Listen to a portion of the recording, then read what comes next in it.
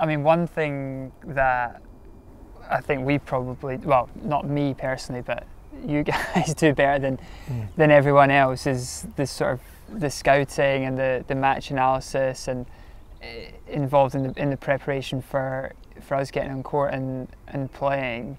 Um, I mean, how?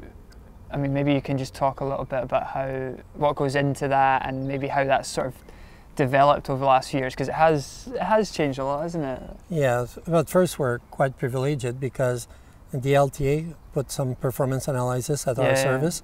So not only the opponent, our scout, but your own game. So we have every point being tagged.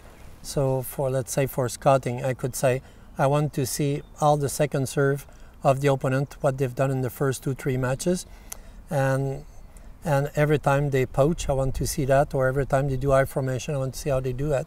So with the tagging system done at the LTA, I can go specifically and get all the information that I want. On the other end, Alan, Alan McDonald, who travels with you full time, and we work together as your coaches. Uh, Alan scout everyone and come back. And what what do you look for? We heard that word anticipation, but people think anticipation is to find out what the opponent will do all the time. What we look to do is to see what the opponent never do. So if we know that someone never do that, that's very very important because yeah. you don't have to worry about that. Yeah, yeah. If guys never lob, you can stay closer. If the guy never serve uh, tee um, or wide on second serve, which many players don't do, yeah. but you know you can also cheat your position and reinforce. Yeah. So we do that. We try to look at their patterns. We try to see when they do, especially like I formation, do they open the line a lot or not? Uh, yeah, we try to look at the patterns, but we it uh, the key thing for a coach is to manage all the time how much information mm. we give you. So to give an example, the year he won the U.S. Open, I analyzed because they have played four rounds before.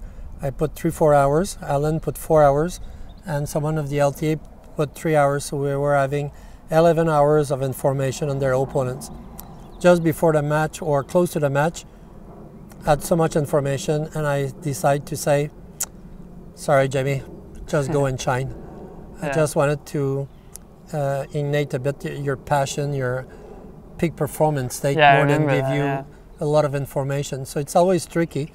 As a coach, you want as much information as you may want to have or need, but the way you transmit it to the players, sometimes it could be a lot of information. If you are especially underdog, you need yeah, to do more.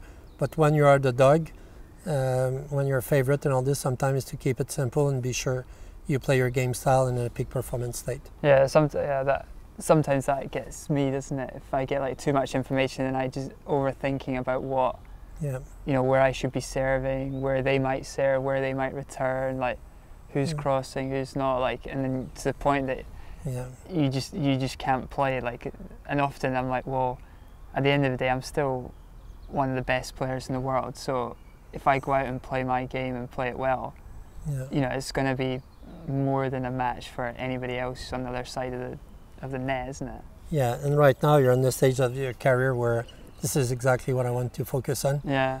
You play your game, you bring the uncertainty, you bring so much variation that people have to adapt to you, and don't adapt so much to people. You need some basic one, but uh, just go there, implement your game style, and uh, you're different. So it's tough for people to adjust to you. Yeah. As a lot of people play the same way, so you're used. It's easy for you to adapt to them. It's tough for them to adapt to you. So go there, enjoy, and uh, at the time we speak, I wish you at least one slam this year.